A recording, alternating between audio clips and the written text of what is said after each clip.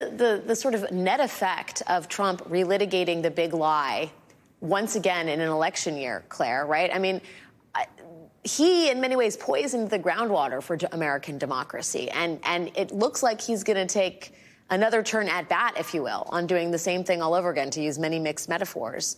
When you hear that his intention is to try and drum up some sort of phantom evidence that the election was stolen, once again, how concerned does that make you as far as this broader American project?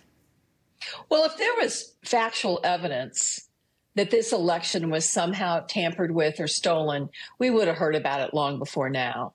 Um, and that's why I think uh, public trials and public hearings, I think Hunter Biden was very smart to say, let's do my testimony in public. Every time they have tried to trot out something that was going to be damning, whether it was about the Biden family or whether it's about how the election was conducted, they failed.